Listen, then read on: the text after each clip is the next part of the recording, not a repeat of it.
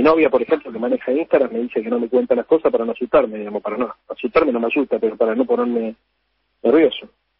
Sí. ¿Pusieron tu dirección en Twitter? Sí, diciendo que había que irme a buscar. Ajá. Para quedarme atropado. Sí, sí, sí. Sí. Mira vos. Es muy fuerte. Ah, yo vivo en planta baja a la calle. Sí. Abrí la ventana de mi casa y se ve todo. O sea, pero igual no me preocupa. O sea, yo, a ver, que no me preocupa. No, no, es un dato político, no es personal esto. No, no, y además creo que hay un componente psicótico también de toda esta gente, ¿viste? Que, que vos decís algo y después ellos lo resignifican o lo reinterpretan como si le estuvieras diciendo, se le estuvieras diciendo personalmente a ellos. A mí me lo hicieron ahora, ¿eh? Hace dos meses. Eh, Luis Gasulla es un service que trabaja en La Nación Más.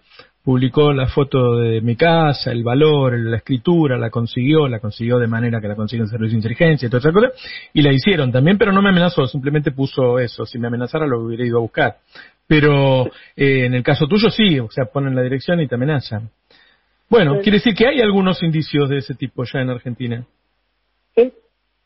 Ujú. A ver, creo que la derecha española, tal vez por su ligación histórica con el falangismo, es como un poco más creíble en, en esos términos, ¿no? Acá son Mm. más cachivaches, me da la sensación. Y no hablo del PRO, obviamente, eh, hablo de los que están a la derecha de ellos. Sí, Eh, sí. Son más cachivaches, tienen una lógica, ¿viste? También. eh, está muy bueno el libro este de, de por qué la rebeldía se volvió de derecha, porque hace un análisis genealógico de cómo es que la incorrección política y la agresividad se transforman en una característica de la ultraderecha. Y su autor, que siempre me olvido el nombre, no, el apellido, me acuerdo que se llama Pablo, pero seguramente si algún oyente está escuchando que me lo va a saber, porque no lo va a saber ahora al aire para recomendarlo el libro, que es muy bueno, dice que los grupos de ultraderecha arrancan en principio como sectores foristas, digamos, de los eh, gamers, ¿no? De los juegos estos de, de Internet.